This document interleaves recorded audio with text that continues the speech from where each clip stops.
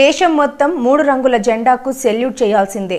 ఆ జెండాకు తల వంచాల్సిందే. దీనికి ఎవరు అతిథులు కారు? కానీ నేడు గణతంత్ర దినోత్సవం సందర్భంగా పొదలుకూరులో ప్రతి ప్రభుత్వ కార్యాలయంలో మువ్వనెల జెండా రెపరెపలాడింది. తగిన గౌరవం పొందింది. కానీ పోస్టాఫీసులో మాత్రం జాతీయ జెండాకు ఘోర అవమానం జరిగింది. ఆ డిపార్ట్మెంట్ వాళ్ళకు కనీసం ఏడాదికి ఒకసారి కూడా జాతీయ జెండాను గౌరవించాలని ఇంగిత జ్ఞానం కూడా లేకుండా పోయింది. పోస్టాఫీస్పై రిపబ్లిక్ డేకు జెండాను ఎగరవేయలేదు. సిబ్బందికి తీరిక లేదు ఎగిరవేయలేదనుకోవాలా? లేక ఆ జెండా విలువ తెలియక ఎగరవేయలేదనుకోవాలా? పది మందికి ఆదర్శంగా ఉండాల్సిన కేంద్ర ప్రభుత్వం కార్యాలయం ఇంత నిర్లక్ష్యంగా వ్యవహరించడంపై పట్టణ ప్రజలు అసహనం వ్యక్తం చేస్తున్నారు. దానికి తోడు అక్కడి సిబ్బంది కూడా కార్యాలయానికి వచ్చే ప్రజలతో సఖ్యతగా ఉండడం లేదనే ఆరోపణలు ఉన్నాయి. ఇకనైనా సిబ్బంది తీరు మారి ప్రజలతో సఖ్యతగా ఉంటూ కనీసం ఏడాదికి ఒకసారైనా జాతీయ జెండాను గౌరవించాలంటూ పలువురు కోరుతున్నారు.